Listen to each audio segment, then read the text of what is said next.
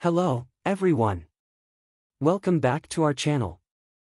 Today, we're going to discuss a topic that many of you have asked about, how to disable ads on YouTube for your smart TV. While there's no direct way to completely remove ads from YouTube on a smart TV, there are a couple of methods that can help reduce the number of ads you see. The first method is subscribing to YouTube Premium. This is a paid subscription service offered by YouTube that removes all ads from the videos you watch.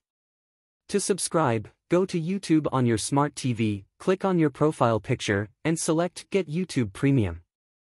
Follow the prompts to complete the subscription process. Another option is to use a third-party ad blocker. However, please note that this method requires technical knowledge and may not work on all smart TVs. It's important to remember that ads help support the creators who make the content you love. So, if you enjoy their work, consider watching the ads to support them. We hope these tips help you have a more enjoyable YouTube experience on your smart TV. If you found this video useful, please give it a thumbs up, share it with your friends, and subscribe to our channel for more tech tips. Thanks for watching.